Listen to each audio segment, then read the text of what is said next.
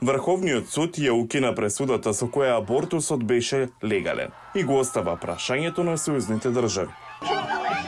Од тогаш 21 сојузна држава донесоа закони за ограничување на абортус. Јас сум за живот, но мислам дека жените треба да имаат право да одлучат за абортусот и тоа да се направи безбедно за исклучоци заради здравјето на бебето или на мајката. Но за тоа треба да одлучат пред се државите. Новата анкета на Галуп покажува дека пресудата ги анимирала гласачите за овој предизвик пред две години и продолжува да го прави тоа. We see a record high now, 32%. Има рекордно високо ниво, со 32% од електоратот кои велат дека ќе гласаат само за кандидат кој е на иста линија со нивните ставови по ова прашање. Но тоа на вистина не се промени меѓу републиканците и независните, остана апсолутно стабилно на околу 20 до 22%. Само бројката на демократи се зголеми. Condom. Еден од тие гласачи е Джейден Донофрио. We've seen that the right to choice Видовме дека правото на избор и рекреативната марихуана се од клучно значење за младите гласачи. Она што е најважно за нив е правото на избор.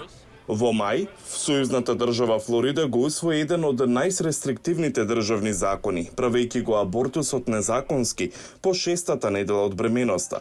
Председателот Џо Бајден ја нарече сегашната компликација на закони за ова прашање хаос.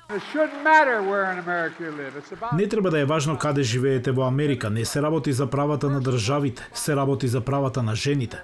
Најодговорен за одземањето на ова слобода во Америка е Доналд Трамп. Председателот Бајден има свој ставови за абортусот поврзани со неговата католичка вера.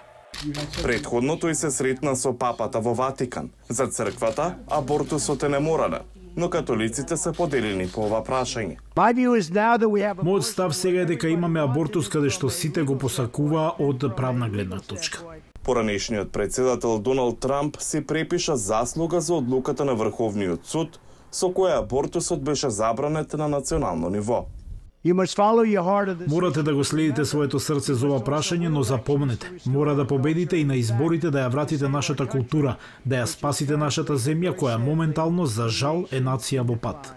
Линда Саат од Галуп вели дека ќе биде интересно да се види дали одлуката на Врховниот суд ќе го промени мислењето на гласачите во ноември или едноставно ќе ги мотивира граѓаните да излезат и гласаат.